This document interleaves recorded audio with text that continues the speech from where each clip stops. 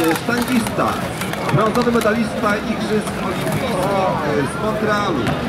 Razem z Maszanowskim, z Kaczmarkiem w tej samej kategorii, tej, tej znakomitej